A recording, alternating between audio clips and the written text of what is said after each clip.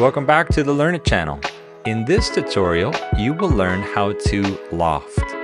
Stay tuned to the end of this tutorial where I will teach you a special technique that will improve your efficiency in Fusion 360.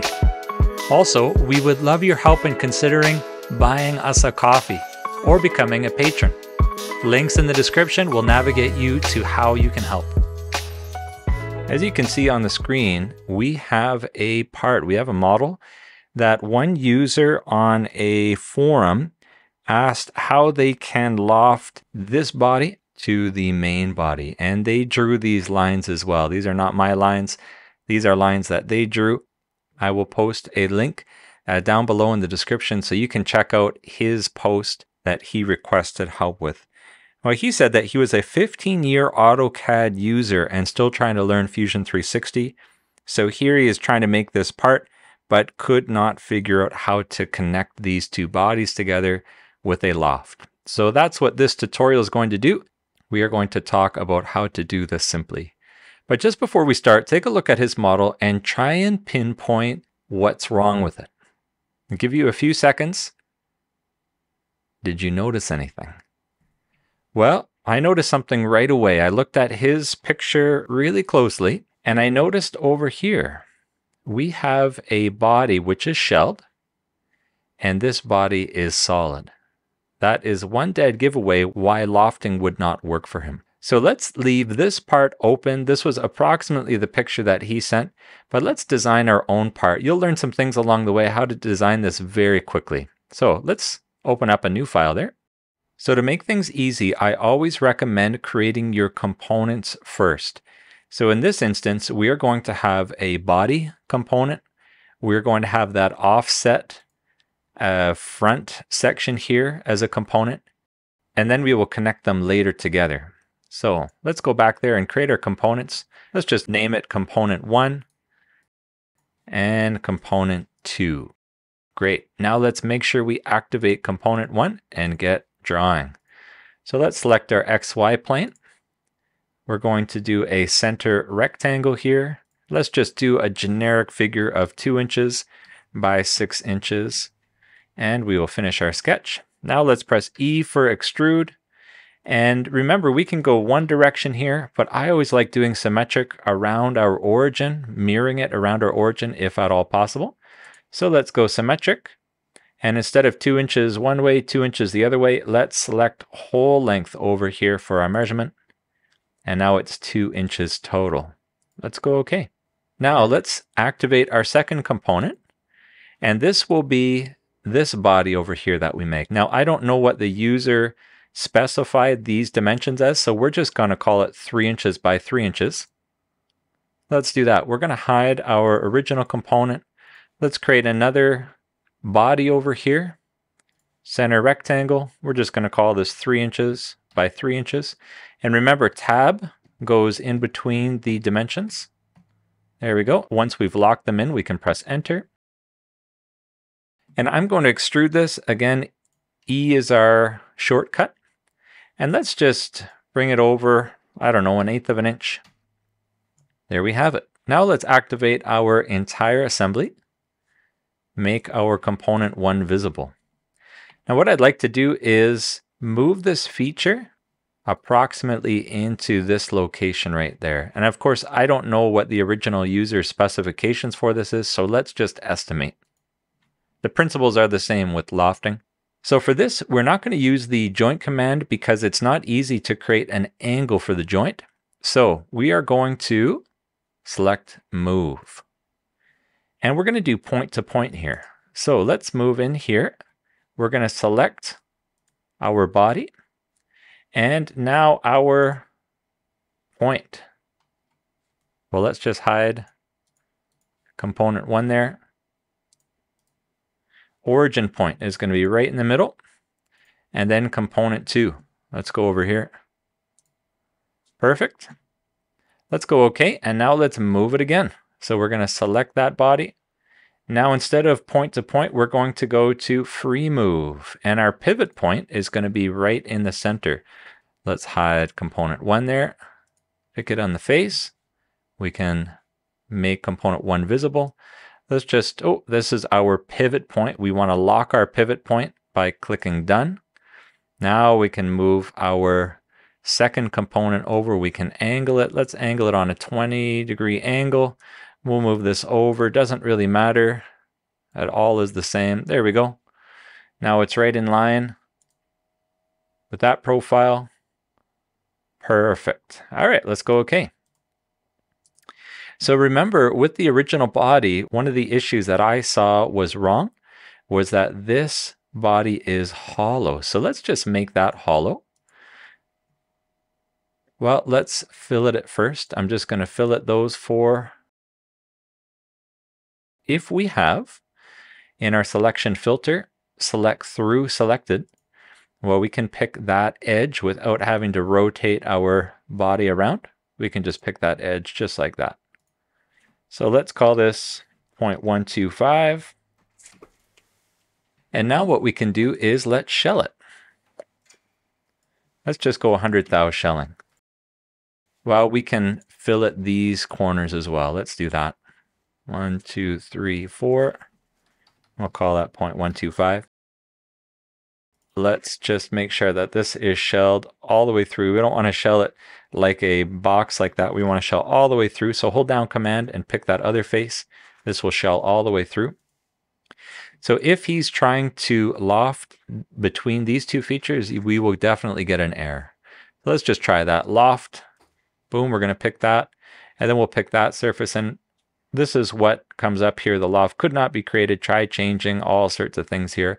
Well, we've got this gigantic flat surface going to a shelled surface. So this is not going to work for us no matter what we do. Let's just go cancel there. So there's a couple different options. We can shell this. Let's try that. Let's just shell that first of all. We'll call that point one. Now let's see if we try and if we can loft it. Let's select that profile and this profile. And what do we know? We've got another error. So let's not do that. Let's get rid of our shelling. Now let's try and loft between the two. And there we have it. So between a solid body to a solid body, uh, this works in this instance. Whereas sometimes we would be able to loft the other way as well. So this is looking great. Now, according to the original model though, we've got this shelled body. So how can we do that here? Well, we've actually got two bodies. We've got component two body and we've got component one body. So let's hide component two. Now let's shell. Let's call this point one. That does it. Let us hide component one and make component two visible. And let's try and shell this too. And let's call that point one. Well, there we have it. We've got a completely shelled dual components right there. And now we can combine them together just like so. Oh, that's perfect. So that's one way to get around that issue. If you come up with one lofting issue, we'll try and find a simple way around it. Try and devise a new plan. Uh, try making a solid body and then creating and then shelling it. We could also, let's go back in time here. Let's get rid of that combine get rid of all the shelling. Let's combine them first. And now let's try and shell. We'll pick those two surfaces, point one. Well, there we go. We can shell all the way through when the bodies are combined together. Now, one issue that might come up is our thickness might be too much. Let's try and go 0.2 inches. All right, so now we've got an error saying, well, wait a second. No, you can't do that. That's too much. So we can find the minimum value here by going, let's go 125. Nope, that doesn't work for us either. So it looks like 0.1 is around the sweet spot to create this part. Now, as a little bonus for this, let's just talk about the handle really quick. Uh, creating this handle might be very difficult for some. Well, let's make one very, very, very simply here. Let's just go back in time all the way to the beginning. There we go. We can even go after the fillets. That's no problem. Let's select our first component and create a sketch on the top surface. We'll just create one diameter. This is going to be the diameter of our handle. Let's go three, set, well, let's go half an inch. We'll create a dimension between those. Let's say one inch. And let's create just a point over here. Great. And we will call these the same dimensions, one inch. We're going to constrain them horizontally to the origin. And let's finish our sketch. Now let's create another sketch on our XZ plane. So let's just hold down our left mouse button and then we can pick XZ. Great. Now this is the secret. If we bring our view cube just off to the side, we can create a line and let's just create our handle profile right here. Let's do that. This is going to be, well, two inches. Let's call it two inches exactly. Great. Now, what's the issue? Oh, it's not locked. So remember, if it's blue, we know that it's not fully constrained. So let's just constrain it to that point. Well, this is horizontal. That's no good. So, perfect. We need to select the coincident constraint. Let's do the same thing over here. We'll go two inches high. And Again, this is not fully constrained. So one of the issues why it's not being constrained is because we haven't projected this point. It can find that point, it's on the plane, but we need to press P to project. And then we can project that point onto our sketch. And now our line will snap to it. There we go, it's black, perfect. So let's create our profile here. Let's go finish sketch. Now this is the really cool thing. We're gonna press create and go sweep. Let's pick our profile and our path and look what happens. We've got a perfect handle right there. So here we have it. We've got the finished component. We can just shell it as well. And I hope that explains how to do lofting pretty easily. This is a specific case scenario of one user's issue of trying to create a loft between those two uh, and he couldn't do it. So anyways, we did it in this tutorial. Lofting can be sensitive in trying to make it just right, but try different solutions. That's what I've done. And this is one easy way that I've figured it out. So say, for example, he wants this front closed for some reason. Well, we can do that in a number of different ways. The easiest way is let's create a sketch here on that face. Let's close our sketch. And then we can just extrude it now. There we go. Let's pull it in. 100 thou join. Now it's closed. But the rest of the body is completely shelled. So there we go. Hope you've benefited from this tutorial. If you have, please consider liking. Please consider subscribing.